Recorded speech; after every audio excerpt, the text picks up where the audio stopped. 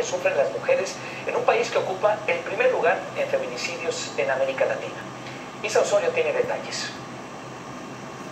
Un día antes de que la mataran le acabó. La foto de Serimar Soto continúa en el mismo lugar desde hace dos años, cuando su prometido la mató.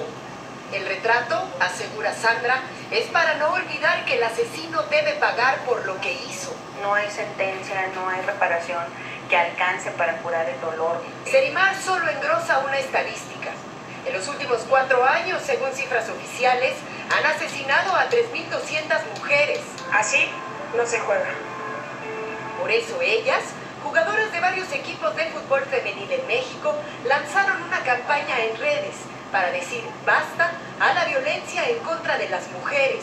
Todos los días nos enfrentamos a un juego peligroso al salir de nuestras casas.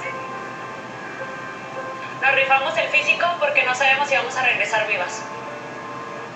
Pero no solo las mujeres en el fútbol denuncian la violencia de género. En este país, 66 de cada 100 mexicanas han sido víctimas, por lo menos alguna vez en su vida, de algún tipo de agresión.